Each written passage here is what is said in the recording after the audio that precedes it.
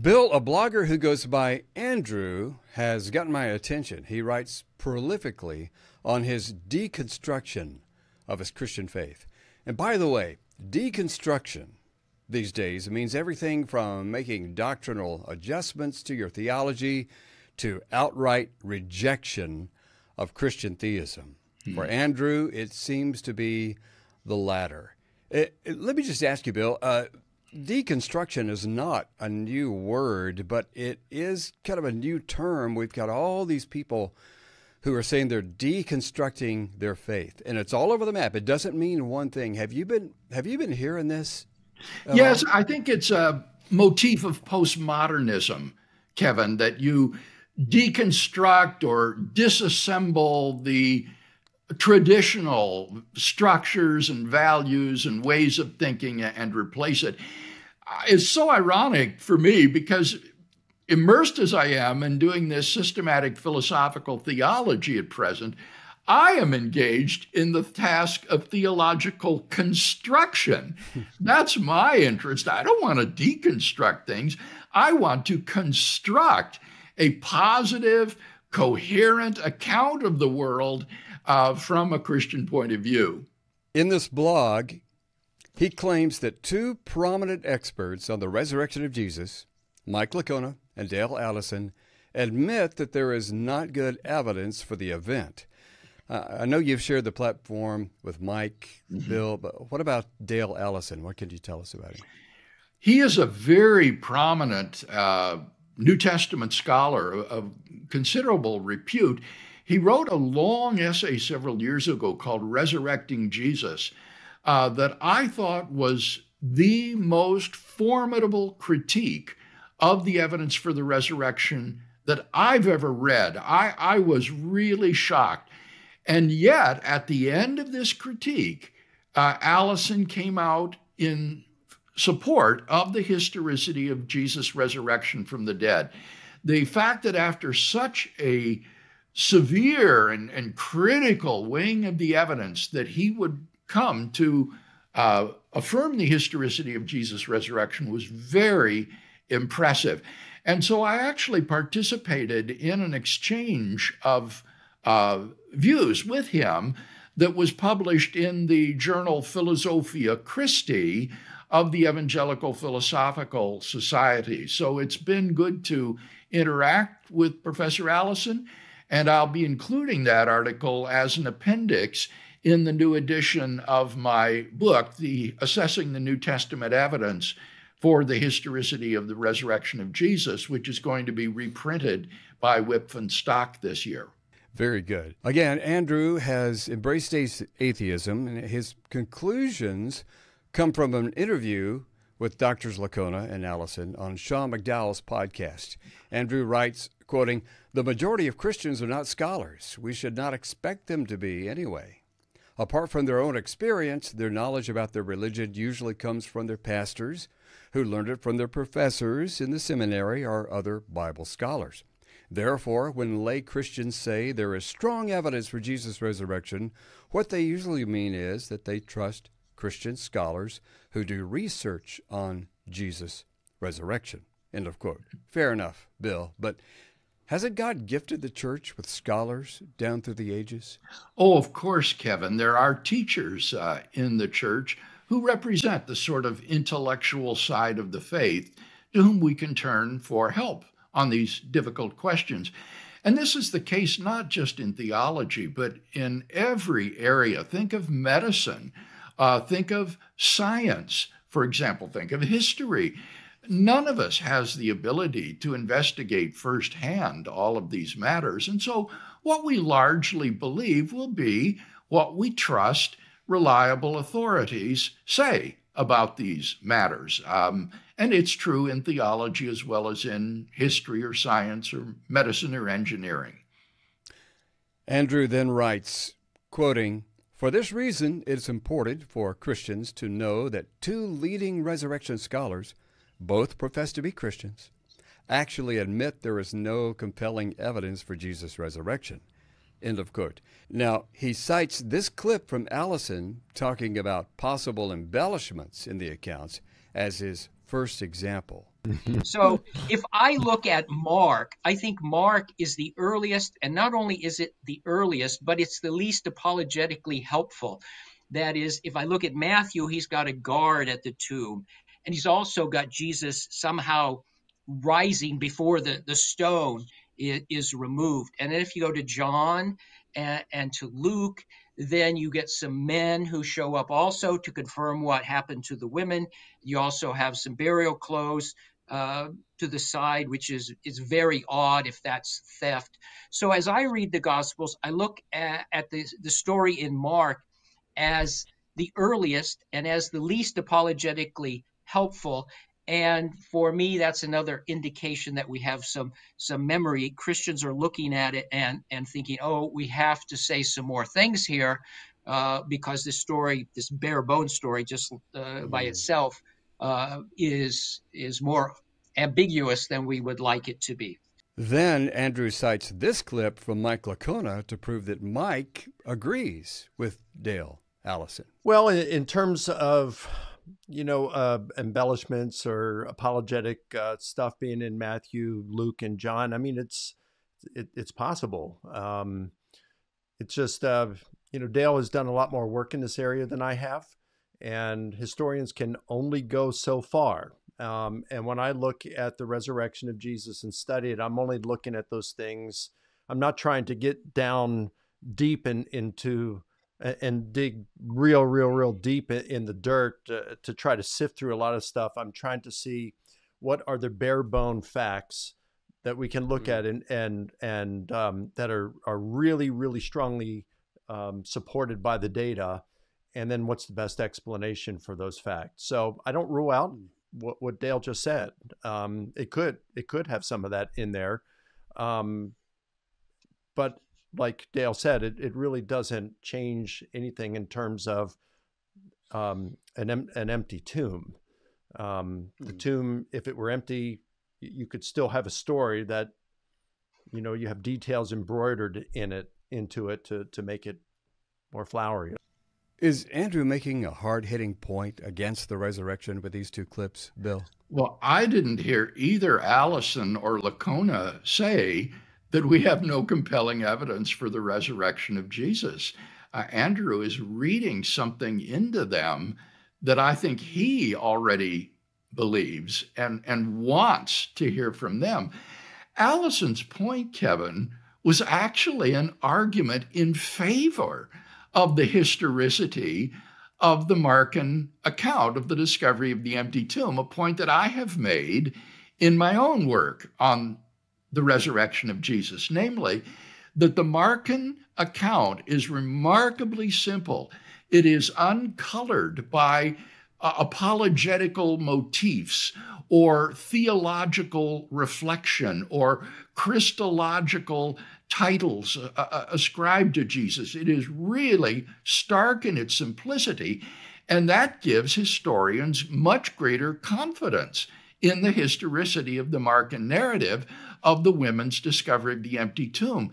So I think maybe Andrew has just misunderstood Allison when he, he talks about the later accounts having more apologetical value. What what Allison doesn't mean is that the later accounts are, are better. He's he's saying that the earlier Markan account is the most primitive and unembellished and, and trustworthy, and therefore we can confidently um, believe what it asserts about the women discovering Jesus' tomb empty on the first day of the week. And that's that's enormous. That's an incredible conclusion. And it is a conclusion, Kevin, to which the wide majority of New Testament scholars have come today.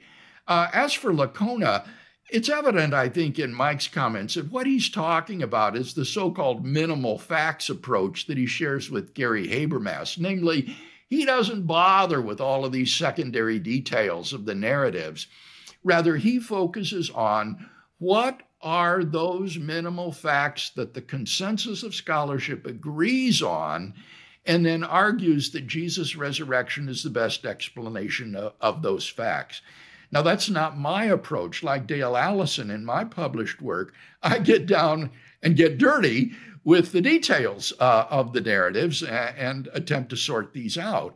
But Andrew has really misunderstood these fellows when he imputes this opinion to them. I, I think what you've got going on here, Kevin, is you've got an unbeliever who is incapable himself of refuting the evidence for the historicity of Jesus' resurrection. And so he is desperate to find what look like concessionary statements on the part of the proponents of that evidence. And I think he's misconstrued the statements that Allison and Licona made. Huh. And by the way, Bill, Andrew writes, quoting, It is apparent by now that neither Allison nor Licona believes in the inerrancy of the Bible, end of quote.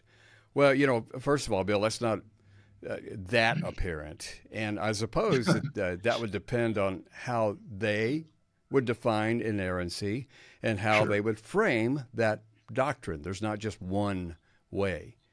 Sure. Allison probably doesn't believe in biblical inerrancy. He is not an evangelical, as I say. Uh, he's very skeptical, which makes his uh, advocacy of the historicity of the resurrection all the more impressive. In terms of Licona, Michael and I have discussed at some length the doctrines of inspiration and inerrancy, and I think uh, Licona's view would be that the Bible is truthful and authoritative in all that it teaches.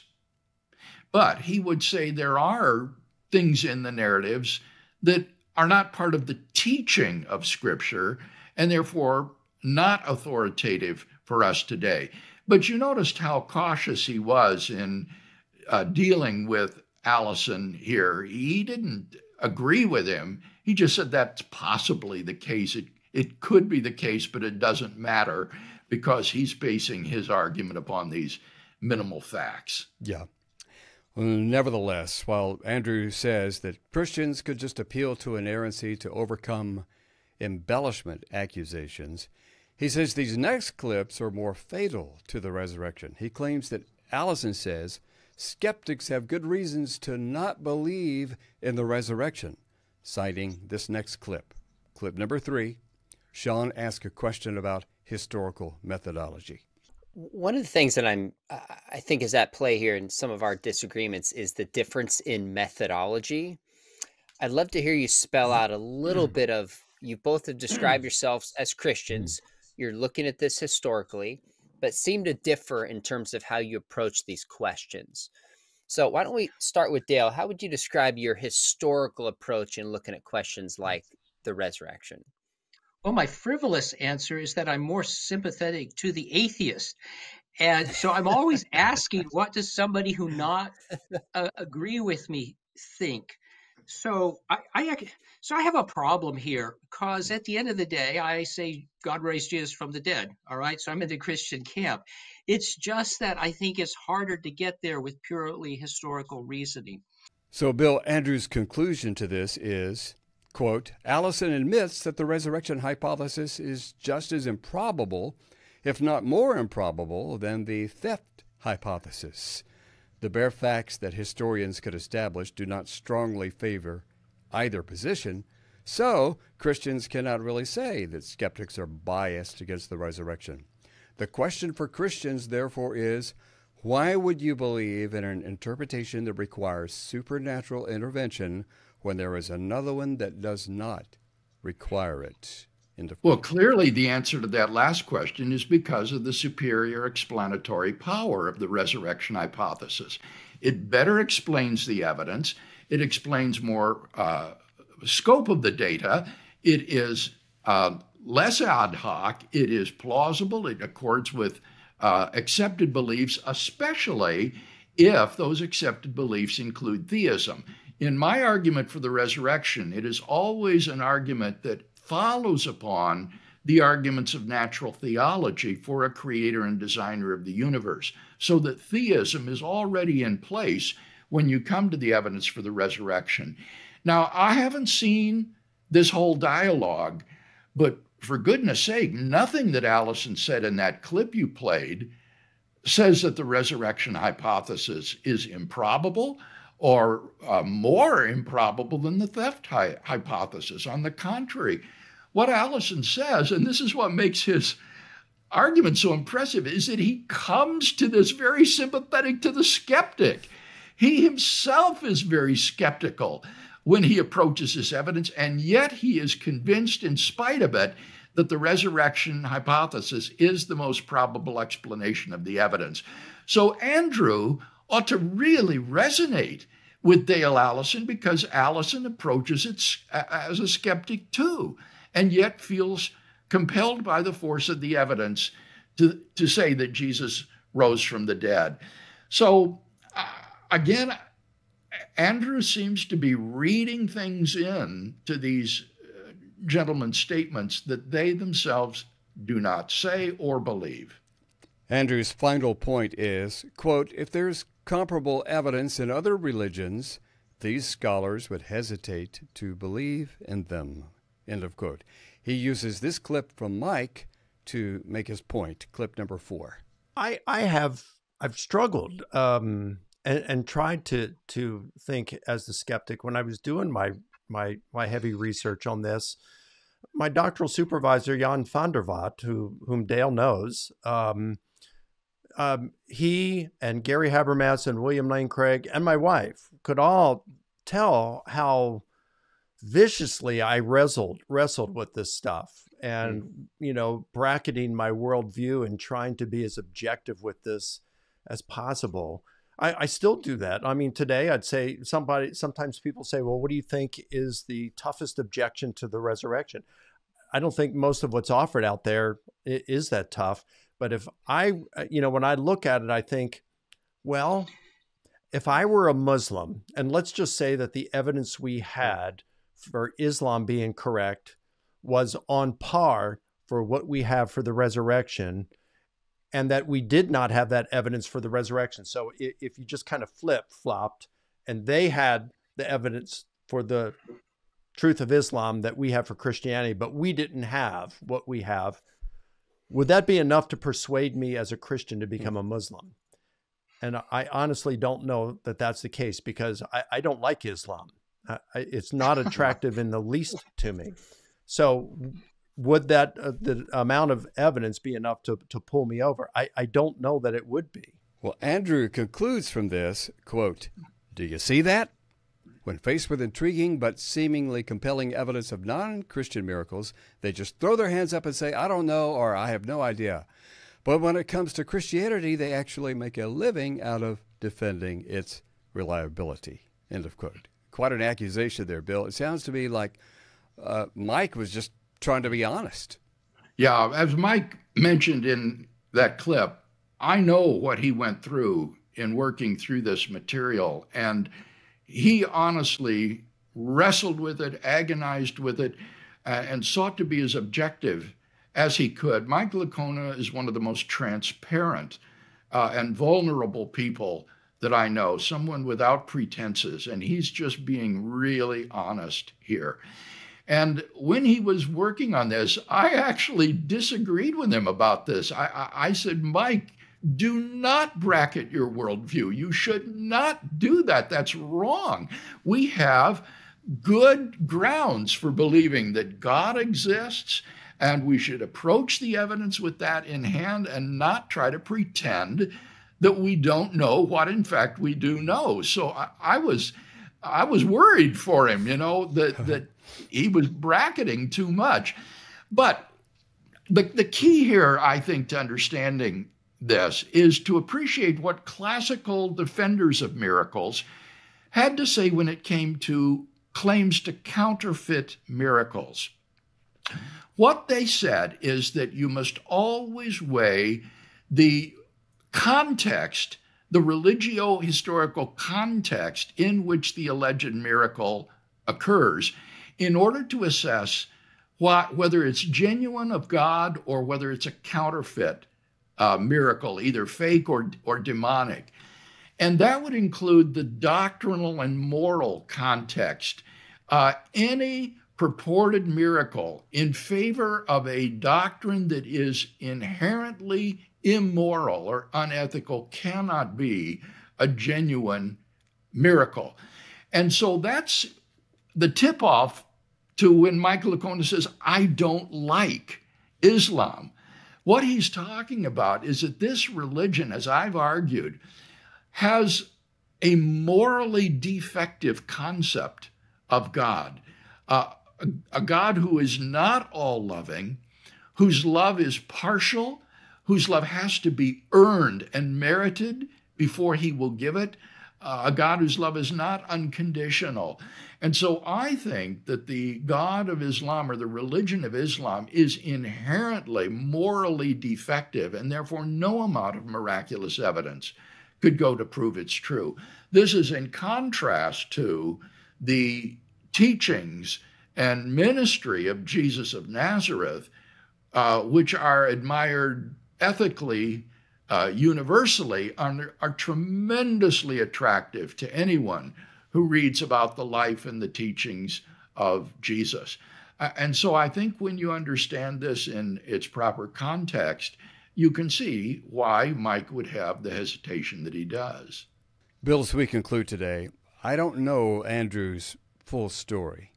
But I get the same impression that, that you got, and uh, mm-hmm. but also get the impression that he would not be writing this blog, nor in fact would he have gone through such a severe deconstruction of his faith, had he not encountered perhaps exaggerated apologetic claims and been thrown by them. Mm-hmm. And I, I wonder what he thinks historical apologetics is supposed to accomplish. His conclusion to the entire blog is if two prominent Christian scholars admit that there are limitations to the historical evidence for the resurrection and admit they became Christians at an early age because they were raised to do so, where does that leave the average non scholar Christian, Christian layman? Yeah. Bill. Uh, where that leaves him is with tremendous confidence that these two prominent scholars, despite their initial skepticism, uh, believe that the evidence supports the historicity of Jesus' resurrection. Of course, there are limitations to historical evidence. Here, as you say, perhaps Andrew has faced exaggerated apologetical claims like there's more evidence for the resurrection of Jesus than that Julius Caesar ever existed, or, or some such exaggerated claim. But that's not what scholars like Dale Allison or Richard Swinburne or Steve Davis uh, or I suggest we say that in Davis's case that it's rational in light of the evidence to believe in Jesus' resurrection, or in my case, that it's the best explanation and a good explanation of the evidence, uh, and therefore more probable than not, and therefore we ought to believe in the resurrection. And so the average Christian who is not himself a scholar can take great encouragement uh, and confidence from that. And as for becoming Christians at an early age, uh, I would say that that shows that there is a an avenue to the knowledge of the risen Lord that is not dependent upon historical research or historical scholarship, and that the vast majority of Christians who have come to believe in Jesus' resurrection have taken this avenue, namely the avenue of a personal living encounter with the risen Lord himself. You don't need to be a historical scholar in order to have a personal relationship with the living risen Lord. Uh, and so the fact that these scholars uh, have such a relationship uh, with God is, again, something uh, that is wonderful and uh, something that every Christian can rejoice in.